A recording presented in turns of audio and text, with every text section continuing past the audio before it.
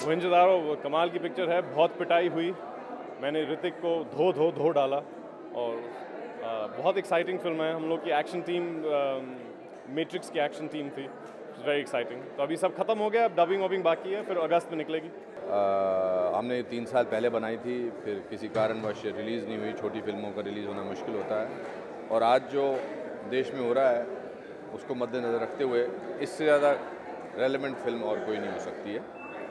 And uh, मैं विवेक की तारीफ़ करना चाहता हूँ विवेक अग्निहोत्री की किस तरह से उन्होंने इसको मार्केट किया है। I don't think he had budget for the proper marketing publicity etcetera और उन्होंने बहुत कॉलेजेस uh, में जाकर बहुत आईआईटीज़ इंस्टीट्यूशन एजुकेशन इंस्टीट्यूशन में जाकर क्योंकि स्टूडेंट्स के बारे में फ़िल्म है।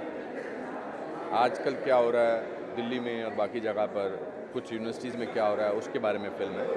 और तीन साल पहले क्या हुआ हमने जो बनाया वो आज तो real real life real life ने रियल लाइफ को कॉपी किया I think this is the moment when we need to talk about this film Buddha in traffic jam and I am very excited and let this film releasing tomorrow